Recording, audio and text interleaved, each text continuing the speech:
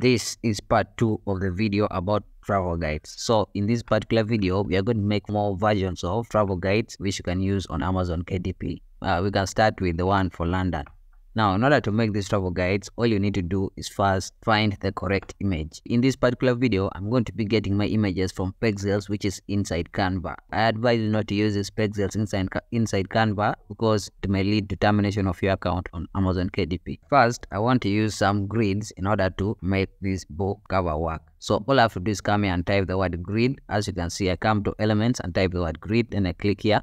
I come to this one, says grids, then I click on see all. So I'll see all the grids here. Now from here, I can select the grid that I want. First, I want this grid, this one here. I click on it. It will come here and then I can stretch it upwards. That can be fit only the upper part of the cover. Now, the next grid I want is this whole one. So I'll click on it and then it will come here and then I drag it down up to here and drag this part up and leave it around here. Now I want this type of grid again, so all I have to do is duplicate it. So click here and I and I duplicate it. So I want to duplicate it, duplicate it. Then I drag it down and stretch it to be bigger. So that is the grid I want. Next, I have to get the images. So to get the images, let me go here and get the image of London. As you can see, I type here London, I click London. But don't do this, you get your own image from anywhere you want.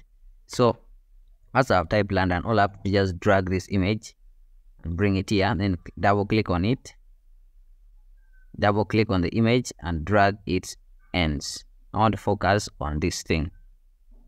Focus on this part of the London. So that is one of the images that I've put. Now the next thing I want is to add two more images up here. So all I have to do is drag an image from here to there. So like, let me use this one. So I drag it up to here as you can see it has entered then I drag another one in that corner. So next I have to get a, a shape. So I come to elements again. Type uh, squares. Let me say squares. Type squares. And as you can see there are squares here. So I'll click on this one click on it. It will appear here. And I drag it up drag it up up here.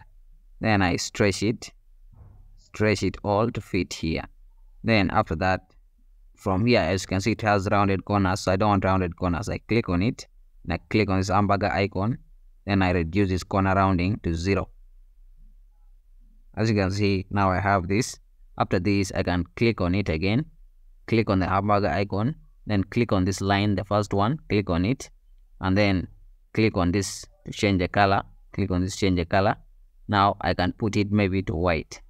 I want white then this other color brown is not so good. So let me try red. See I click here and I try red color. Which is here click on this. As you can see it's somehow looking good but I, I still want this width this border to be big to be more bold.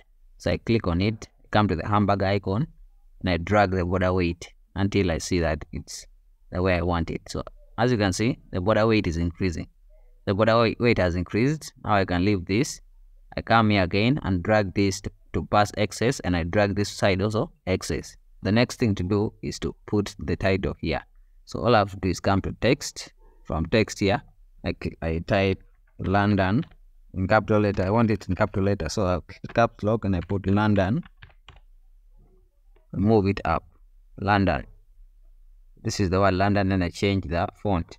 Now this font Canva Sans is not so good. So I can change the font. Click here maybe try this chunk 5 click on this chunk 5 and see. Uh huh, this chunk 5 is not bad. So I can increase it. Increase it fit. Increase it and make it bold. Make it bold enough. And then double click on it to change the color to white. Now from here all i have to do is add the word travel guide. So i can come here and get this add subtitle click on it and then add the word travel guide. Can make it also capital travel guide. You say london travel guide. So i come here and i put it here.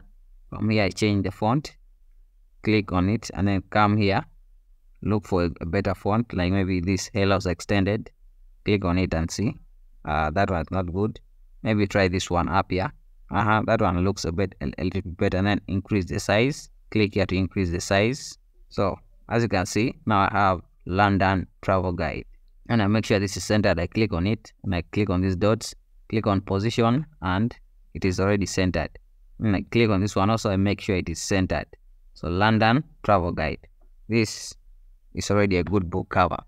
Now as i told you before 70% of a good a good book cover for travel guide is made by the image. So as you can see, what I've said is true, is that you're seeing here we have only like 30% of words and 70% of image and the cover is still looking good. Now from here, all we have to do is add the name. Come here, tap on this and come down here and maybe use a name, maybe say Jane. Doe add the pen name Jen Doe. From here, you can see that the pen name is not looking good, so I double click on it. After that, come to effects, and from effects, come to this one, background, click on this. After this, you change the color of the background to maybe red also. Change to red, as you can see. So you can also change the effects of the roundness. You can see this thing of roundness. If you reduce the roundness, then it will become a square. As you can see, now I have some repetition within my book cover. So then I can reduce the size. So reduce the size. You don't need your, your pen name to be too big. So reduce the, the size to 10. Now, what if your, your travel guide has subtitles and you don't want it to be like this? You don't want it to look this generic. Now, there are things you can do to change that. First, you have to change the position of the pen name. So to change the position of the pen name, all you have to do is come and click on the pen name click on the pen name. I first change the shape so click on effects and then come down to this shape. You find this and you click on this one. So i want it to be rounded. As you can see it is rounded. Now from being rounded i can move it up this page this part here. So i move it up there and i leave it there. Now second thing i pick this back this shape and duplicate it. Click on this plus to duplicate it and move it down. All you want to do is add your subtitle. Yes after moving it down then you can get your subtitle. Let me say i have a subtitle which says what? Which says essential travel tips and all you need to know. So essential travel tips all you need to know. So come here and add essential. You click here this drag it down then paste. Paste essential travel tips and all you need to know and from here and then you can change font. So i come here click here and i i look for the font i want the better font. You do this until you find the correct font the font that matches. Yes the font that matches. You find the font that matches. So as you can see this looks like a much better travel guide.